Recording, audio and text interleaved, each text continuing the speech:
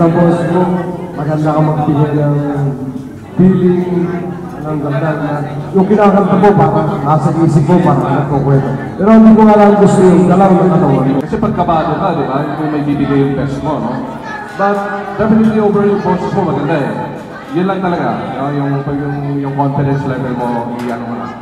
Napipil ko siya na kaya mo, kaya lang more effort pa para busugin mo siya, hindi yung kagaya ng hinahabol mo kasi yung note mo eh. Let, let's say yung sa part na, alam kong kapwa tayong dalawa ay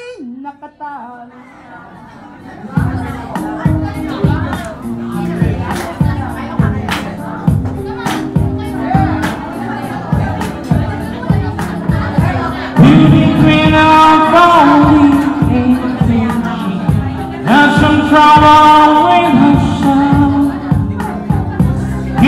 Allah.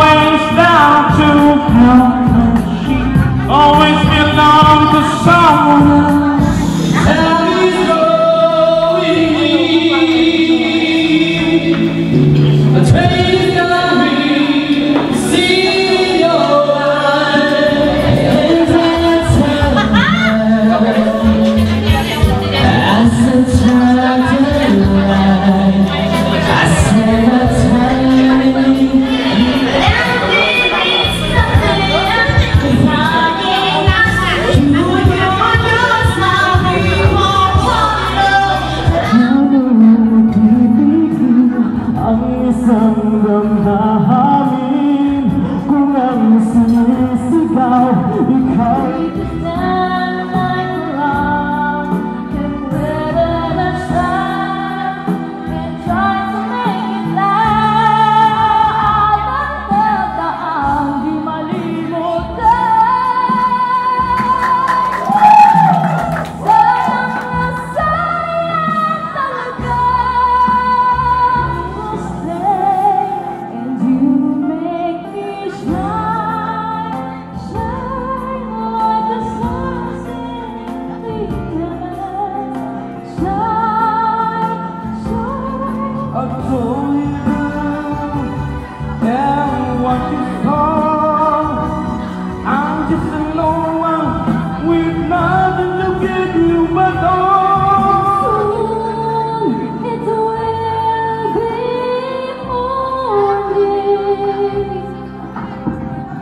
day